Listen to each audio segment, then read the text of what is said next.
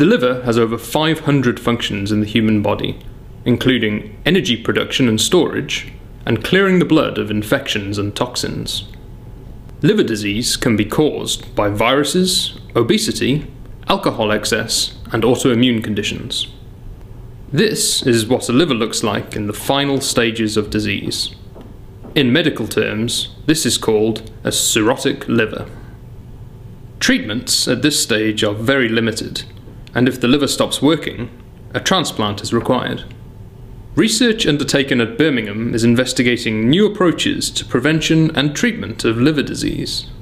Cirrhosis is scarring of the liver, for which there are many different uh, causes. Unfortunately, the best treatment for that remains a liver transplant. As the demand for liver transplants is rising, unfortunately, patients who are waiting for those liver transplants are dying on the list. In this clinical trial, which is the largest of its kind, we're aiming to see if patients' own stem cells can be used to help repair the damage. Patients will have the stem cells isolated from the bone marrow and then reinfused on three different occasions. The study is being run here in Birmingham, but also in Nottingham and Edinburgh, and we aim to recruit 81 patients. Obesity and diabetes are now reaching epidemic proportions in the UK, and as a result, people are at risk of a condition called non alcoholic fatty liver disease. With the exception of lifestyle change, there really are no accepted treatments for this condition at present, and as a result, it is now the most common cause of liver disease in the Western world. The LEAN trial is a multi-centre trial looking at the effect and safety of a new diabetes drug called liraglutide in specifically patients with liver biopsy confirmed non-alcoholic fatty liver disease. Patients get randomly selected to 48 weeks treatment with either a dummy drug, which is known as a placebo, or the study treatment itself, liraglutide.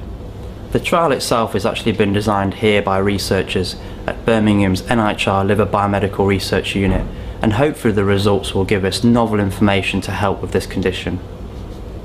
Hepatitis C infection is a leading reason for liver transplant in the UK. Unfortunately, after transplant, the hepatitis C virus particles in the blood enter the newly transplanted liver and cause liver injury, liver damage, and sadly, in one out of three patients, liver failure. In this trial, we will study a new drug that aims to block the entry of hepatitis C virus particles into that liver, thereby offering hope for patients and avoiding progressive liver injury and the need for retransplantation in the future.